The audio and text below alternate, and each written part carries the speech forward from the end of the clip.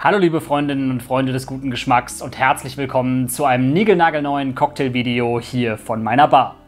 Heute ist in den USA der internationale Tag des Rums und deswegen gibt es natürlich auch hier bei mir heute einen leckeren Rum-Cocktail. Diesmal mit dem Woodstock Spiced Rum aus dem Schwarzwald und damit mixen wir den Strawberry Rumble. Für den Strawberry Rumble habe ich mir aus dem Schwarzwald den Woodstock Spiced Rum ausgesucht. Spiced Rum, das bedeutet, dass wir hier einen Rum haben, der im Nachgang nochmal aromatisiert wurde. In diesem Fall zum Beispiel mit Vanille, Honig, aber auch mit Bitterorangen. Für unseren schmackhaften Rum-Cocktail brauchen wir neben dem Spiced Rum auch noch etwas frischen Limettensaft und Aquafaba. Ihr kennt das, ihr könnt natürlich auch Eiweiß nehmen. Ansonsten Campari und Erdbeersirup.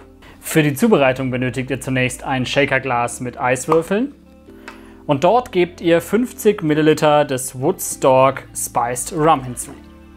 Hinzu kommen 20 Milliliter Campari, 20 Milliliter Erdbeersirup sowie 20 Milliliter frisch gepresster Limettensaft und 15 Milliliter Aquafaba. Anschließend wird das Ganze sehr kräftig geshakt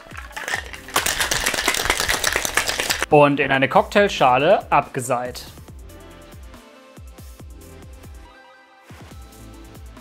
Als Garnitur kommen noch ein paar getrocknete Blütenblätter auf den Drink.